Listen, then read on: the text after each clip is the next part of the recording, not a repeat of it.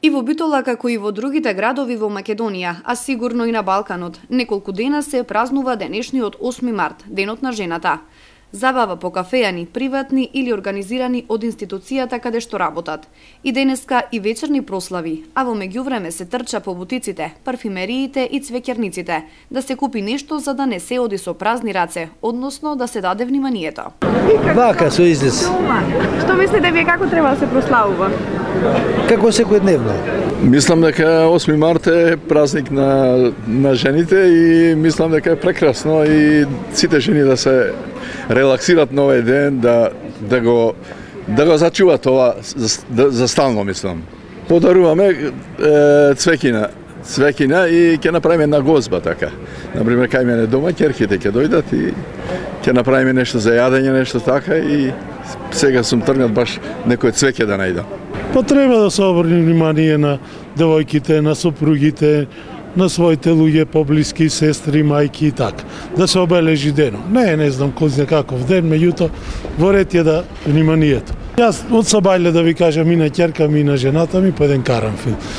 Колку да обележиме? А, најдобро што може. Да не се штедат пари, да не се штеди енергија, да му се посака се најдобро на женскиот пол мислам дека заслужуваат. Па скромен поклон, али од срце го давам секогаш. Мислам дека треба најубаво, најубаво да биде со цвеќе и добар поклон. И додека кај нас не е така, во делот од светот се протестира.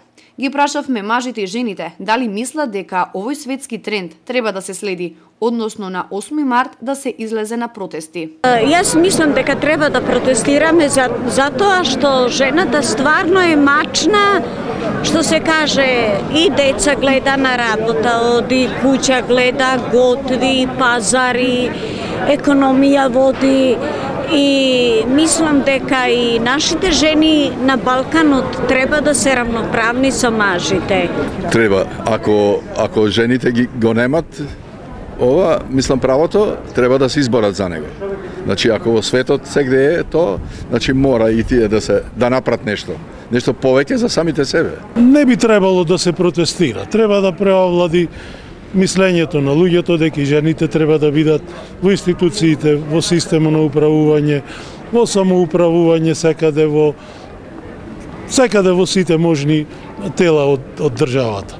Так, и прво треба да се види да има квалитет, па после да видиме дали е машко или женско, не е многу битно. Па би требало да има право појки за жените, за девојките, мислам за младите, сите женски што треба да биде исправно да нема малтретирање од машката страна од другите.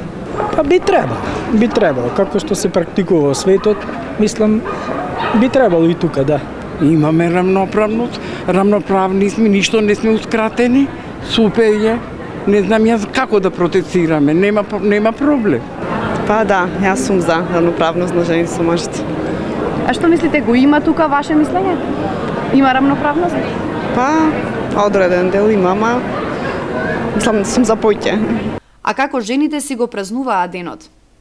Јас 8 март ке го празнувам со моите колешки, со жени во Српско-македонско друштво и им посакувам на сите жени од понежниот пол да си поминат убаво и се најубаво им пожелувам пресве добро здравје и се што се каже и секој ден да им биде убав. Господ здравје на сите. Работно. Работно.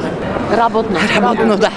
Си бевме во пицерија, си јадовме пица, кафе, си се почастивме сокче, се убо. Чанта добив.